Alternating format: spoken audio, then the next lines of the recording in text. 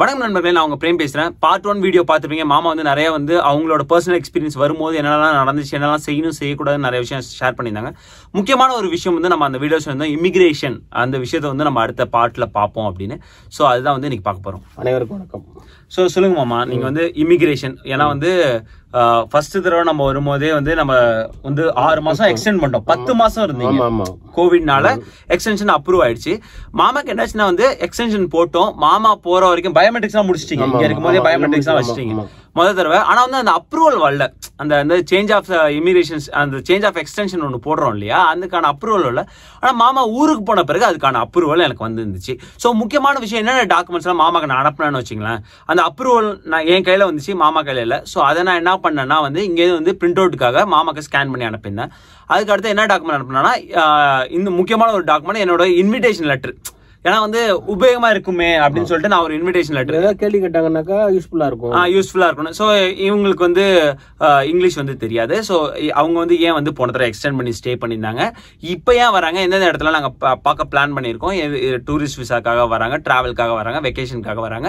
இவங்களுக்கு யார் point of contact நான் தான். ஸோ இதாக இருந்தாலும் என்கிட்ட கேளுங்க. இந்த மாதிரி க்ளீனாக வந்து ஒரு இன்விடேஷன் லெட்டர் அனுப்பி அடிச்சு மாமாக்கு வந்து அனுப்பி வச்சிருந்தேன்.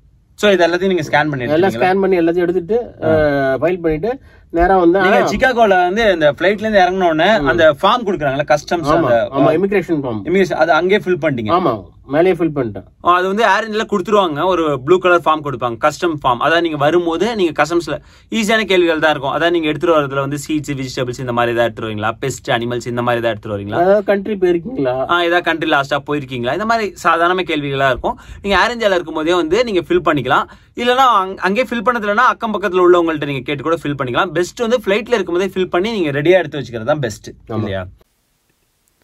இதான் பார்த்தீங்கன்னா ஒரு சாம்பிள் ஃபார்ம் பார்த்தீங்கன்னா first name last name family நேம்ல லாஸ்ட் நேம் பாஸ்போர்ட்டில் என்ன இருக்கோ அதான். அப்புறம் டேட் ஆஃப் பர்த் அதுக்கப்புறம் பார்த்தீங்கன்னா எத்தனை ஃபேமிலி மெம்பர்ஸ் வந்து நீங்கள் ட்ராவல் பண்ண போகிறீங்க ட்ராவல் பண்ணுறீங்க அப்படின்னு. ஹஸ்பண்ட் அண்ட் ஒய்ஃப் ஒய்ஃப் வந்தால் ரெண்டு பேர் ரெண்டு குழந்தைங்க நாலு பேர். அதாவது வந்து ஒரு ஃபேமிலிக்கு ஒரு ஃபார்மு ஸோ எத்தனை பேர் அந்த ஃபேமிலியில் இருக்கீங்கன்னு. அப்புறம் யூஎஸ் அட்ரஸ் நீங்கள் எந்த இப்போ விசிட்டர் விசானா நீங்கள் எந்த அட்ரஸில் போய் ஸ்டே பண்ண போகிறீங்களோ அந்த அட்ரஸ் நீங்கள் குறிப்பிடணும். அடுத்த பாஸ்போர்ட் நம்பரு அடுத்து நீங்கள் வந்து எந்த இடத்துல உங்களுக்கு பாஸ்போர்ட் கிடச்சிது நீங்கள் எந்த கண்ட்ரியோட ரெசிடென்ஸு அப்புறம் கடைசியாக வந்து எந்தெந்த கண்ட்ரிக்கு போயிட்டு வந்தீங்க? அதாவது இந்தியாவிலேருந்து வரீங்க. ஸோ அதை தவிர நீங்கள் வந்து கடைசியாக எந்தெந்த கண்ட்ரிக்காக போயிட்டு விசிட்டாக போயிட்டு வந்துட்டிங்களா அப்படின்னு. அப்புறம் ஃப்ளைட் நம்பருங்கும் போது லாஸ்ட் ஃப்ளைட் அதாவது இமிக்ரேஷனுக்கு முன்னாடி எந்த ஃப்ளைட்டில் இருக்கீங்களோ அந்த ஃப்ளைட் நம்பர் அதாவது நீங்கள் எந்த ஃப்ளைட்டில் இதை ஃபில் பண்ணுறீங்களோ அந்த ஃப்ளைட் நம்பர் கொடுத்தா போதுமானது. அப்புறம் வந்து உங்கள் பர்பஸ் பிஸ்னஸாக இல்லை. விசிட்டர் விசாங்கும் போது பிஸ்னஸ் பர்பஸ் இல்லை. அடுத்து வந்து இந்த இதெல்லாம் ரொம்ப முக்கியம். எதெல்லாம் வந்து சீட்ஸ் எதாவது இருக்காங்க? வெஜிடபிள்ஸு மீட்ஸு அனிமல்ஸு எதாவது நீங்கள் கொண்டு வரீங்களா அப்படின்னு கண்டிப்பாக கேட்பாங்க. ஏன்னா அதெல்லாம் கொண்டு வரக்கூடாது. ஸோ அதெல்லாம் மேக் ஷுர் பண்ணிக்கணும். அடுத்து வந்து டென் தௌசண்ட் டாலர்ஸ் அதாவது வந்து ஏழரை லட்சம் ரூபாய் நீங்கள் கையில் வச்சுருக்கீங்களா அப்படின்னு ஒரு கேள்வி கேட்பாங்க. ஸோ அதுக்கு நீங்கள் எஸ்ஆர்னோ என்னவோ அந்த பதில் கொடு குறிப்பிடணும். அடுத்து வந்து நீங்கள் ஏதாவது இங்கே வந்து பொருட்கள்லாம் சேல் பண்ண கொண்டு வந்திருக்கீங்களா அப்படின்னு கேட்பாங்க. அதுக்கு நீங்கள் எஸ்ஆர்னோ என்ன வந்து குறிப்பிடணும். அடுத்து பார்த்தீங்கன்னா ஒரு ரெசிடென்ஸுக்கு ஒரு விசிட்டர்ஸ்க்கு அதாவது வந்து நீங்கள் வந்து டிக்ளேர் பண்ணுறது எவ்வளோ ஐட்டம்ஸ் கொண்டு வரீங்க அதை டிக்ளேர் பண்ணணும். யூஸ்வலாக விசிட்டர் விசா வரவங்கலாம் வந்து எதுவுமே எடுத்துகிட்டு வர மாட்டாங்க. ஸோ எதுவுமே டிக்ளேர் பண்ண வேண்டிய அவசியம் இல்லை. சும்மா விட்டுறலாம் அதை. அடுத்து எதாவது எடுத்துகிட்டு வந்தீங்கன்னா டிக்ளேர் பண்ணணும். ஸோ அடுத்து வந்து பார்த்தீங்கன்னா வந்து சிக்னேச்சர் சிக்னேச்சரோட இந்த ஃபார்ம் வந்து முடிஞ்சது. பின்னாடி பக்கம் பார்த்தீங்கன்னா வேறு ஏதாவது டிக்ளேர் பண்ணணும்னா ஐட்டம்ஸ் வந்து டிக்ளேர் பண்ணுறதுக்காக இருக்கும். யூஸ்வலாக விசிட்டர் விசாக்கு வரவங்க இவ்வளோ தான் வந்து ஃபில் பண்ணணும். சரி ஓகே நீங்க வந்து இறங்கும் போதே வீல் சேர் ஆப்ஷன் கொடுத்துட்டாங்க இல்லையா அவங்க வந்து உங்களை தள்ளிட்டு வந்தாங்களா? ஆமா. அவங்க வந்து எல்லாரையும் ஒரே இதுல வச்சுட்டாங்க. வீல் சேர் ஆப்ஷன் கிட்ட ஒரு இருபது முப்பது பேர் கிட்ட இருந்தாங்க. இப்ப இமிகிரேஷன் எல்லாரும் ஒரே லைன்ல தான் நிக்க வச்சாங்களா? இல்ல நாங்க இமிகிரேஷன் வந்து எல்லாம் முடிஞ்சதுக்கு அப்புறம் தானே போனோம்.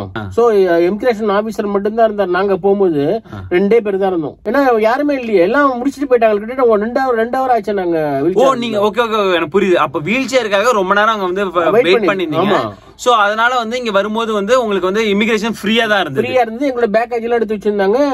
பாலகுரு ராமலிங்கம் வந்து எத்தனை பேக்கு திலகவதி பாலகுரு எத்தனை பேக்குங்கிறத அவங்க வந்து செப்பரேட்டா பிரிச்சு நாலு பேக்கு தனியா வச்சிருந்தாங்க. சூப்பர் சூப்பர் சோ வந்து அந்த இமிகிரேஷன் ஆபீசர் வந்து என்ன கேட்டிருந்தாங்க உங்களுக்கு? ஆபீசர் வந்து பார்த்துட்டு அவர் என்ன உனக்கு ஃபிளைட் சின்சினாட்டி ஃபிளைட் வந்து அஞ்சு மணிக்கு தானே? நீங்க என்னென்ன ஃபார்ம் கொடுத்தீங்க முதல்ல? முதல்ல ஃபார்ம் வந்து ப்ளூ ஃபார்ம் வந்து இமிகிரேஷன் ஃபார்ம் தான் கொடுத்தேன். fa- மத்தபடி அவன் வந்து பாஸ்போர்ட் கொடு பாஸ்போர்ட் கொடுத்தீங்களா? passport கொடுத்தோம். பாஸ்போர்ட் பாஸ்போர்ட்டும் இமிகிரேஷன் இதுவும் கொடுத்தோம். அந்த கஸ்டம் ஃபார்மா அந்த இமிகிரேஷன் ஃபார்ம் இருக்கு நம்ம ஃபில் பண்றோம்ல ஃபிளைட்ல அவங்க வாங்கிட்டு மத்தபடி நீ கொடுத்த பேப்பர் எதுவுமே அவங்க கேட்கல. கேட்கல. நான் தான் சொன்னேன் கேட்காம எதுவும் கொடுக்க வேண்டிய அவசியம் கிடையாது.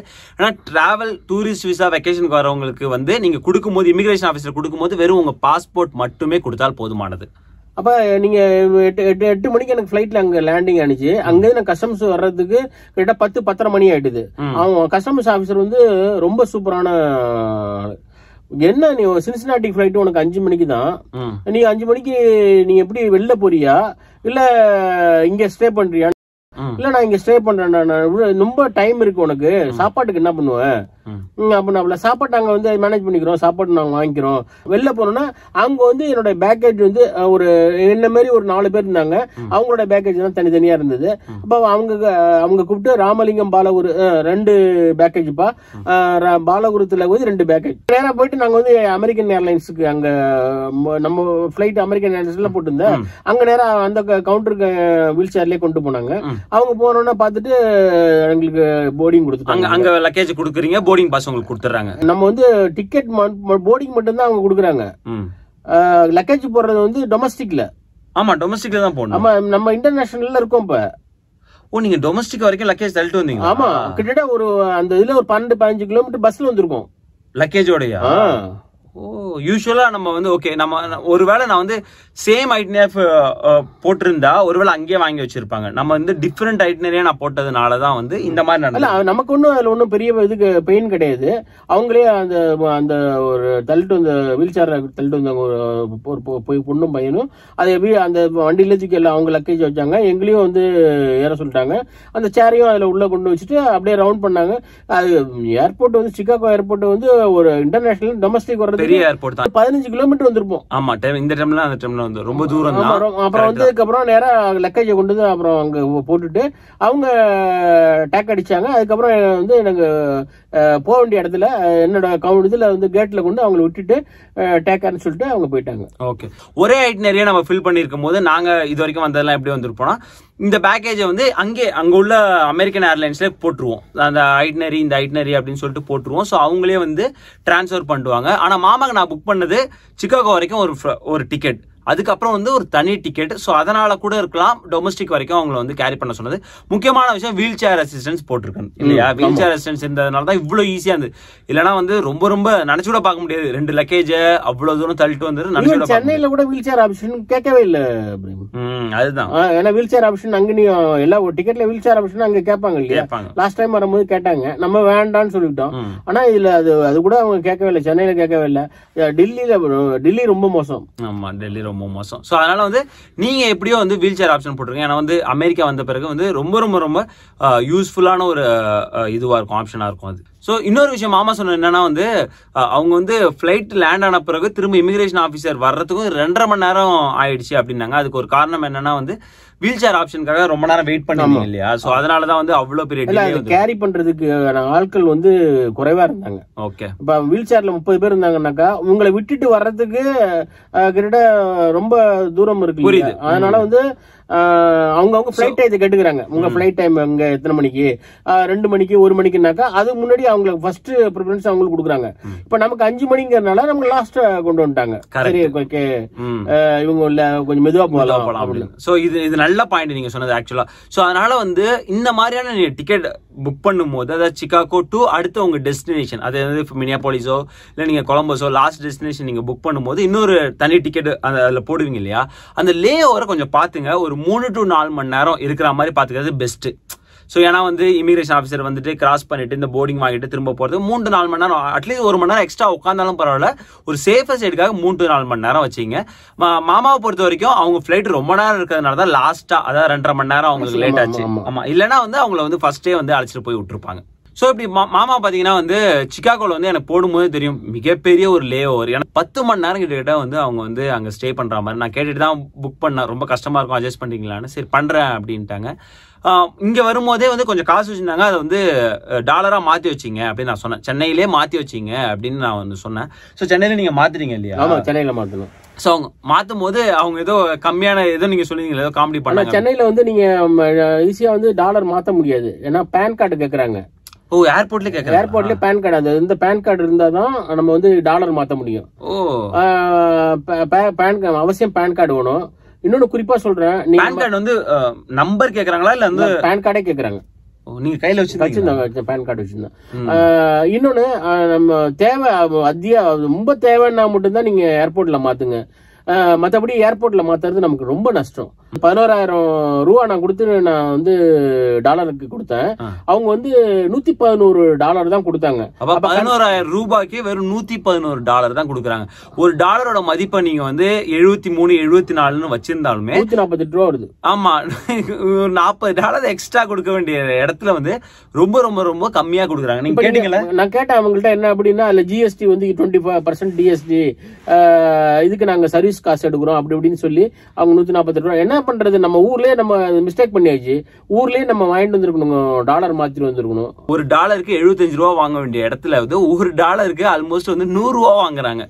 சோ இதுல இருந்து ஒரு லெசன் நீங்க என்ன கத்துக்க வேண்டியதுன்னா கண்டிப்பா வந்து கையில வந்து கொஞ்சம் டாலர்ஸ் வச்சுக்க வேண்டியது ரொம்ப ரொம்ப ரொம்ப அவசியமான ஒரு லோக்கல்லே மாத்திக்கிறது நல்லது. ஆமா நீங்க உங்க வீட்டுக்கு பக்கத்துல இருக்க நிறைய மணி எக்ஸ்சேஞ்ச் இருக்கு. நீங்க அங்கேயே மாத்திக்கிறது வந்து நல்லது. ஏன்னா வந்து முக்கியமான விஷயம் பேன் கார்டு கேக்குறாங்க. எல்லாருமே பேன் கார்டை கேரி பண்ணிட்டு வருவாங்களான்னு தெரியாது. ஸோ லைக்லி நீங்க வந்து எப்பயுமே பையில வச்சிருக்கிறதுனால உங்களுக்கு உபயோகமா இருந்திருக்கு.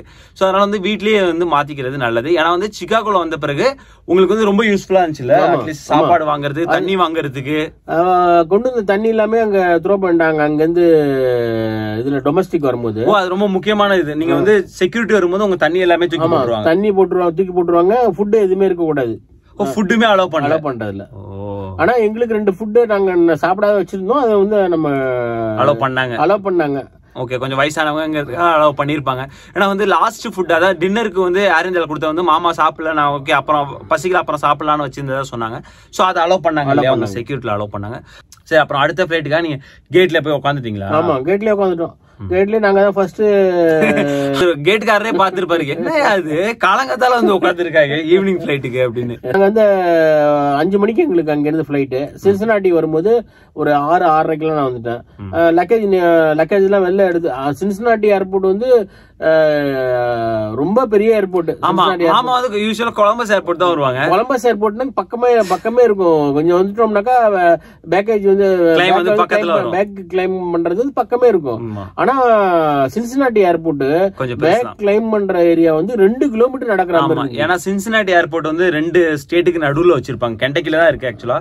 கெண்டக்கிக்கும் ஒகாய்க்கும் ரெண்டு பெரிய சிட்டிக்கு நடுவுல வச்சிருப்பாங்க. அதனால வந்து நிறைய போக்குவரத்து இருக்கும் கொஞ்சம் பெரிய ஏர்போர்ட் கொலம்பஸ் ரொம்ப ரொம்ப சின்ன ஏர்போர்ட் தான். அது வந்து ஒரு இன்டர்நேஷனல் ஏர்போர்ட்னே சொல்ல முடியாது. டக்குனு வந்துடும் கேட்டை திறந்து கேட்டை இருந்து நடந்து வர்றதுக்கு இருபது இருபது நிமிஷம் இருபது இருபத்தி ரெண்டு நிமிஷம் ஆச்சு. அங்க இருந்து ஆமா நீங்க கரெக்டா எடுத்து வச்சு வெளியே உட்காந்துட்டாங்க அதான் வந்து நான் வந்து ஐயோ நான் ஏற்கனவே லேட் ஆயிடுச்சு நீங்க அந்த அந்த வீடியோ நான் உங்களுக்கு போடுறேன் ஆக்சுவலா வந்து நான் ஏன்னா வந்து ஒரு டவுன் டவுன் வரும்போது நான் தவறான வழிக்கு வந்து இது வந்து.